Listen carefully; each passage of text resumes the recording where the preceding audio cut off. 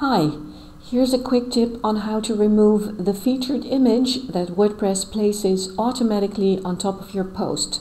Now, when do you not want this to happen is, for example, when you have uh, a slider here or a video, or maybe you have an image um, on top of your post that you have placed in there in the exact measurements that you want uh, the image to be um, rather than the measurements that WordPress automatically inserts the image in. So in that case, you would not want um, the featured image to be placed on top of the one you have already placed in your post.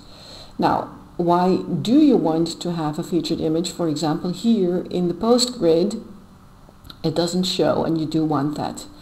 So let's go to this post now I'm not using the visual builder right now because I didn't try that enough uh, to know whether the extra settings are to be found there as well. Um, so I'm just going to do it from the back end. Um, here you see that I already have an image inserted and I've inserted that in the measurements that I want the image to be. So we're going to place the featured image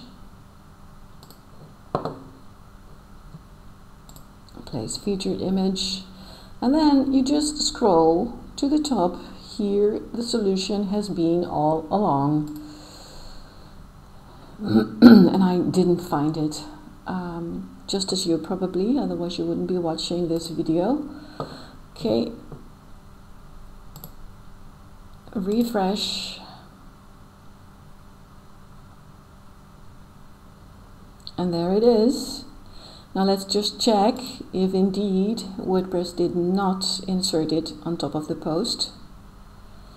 And it didn't because this is the image that I already had placed in this post.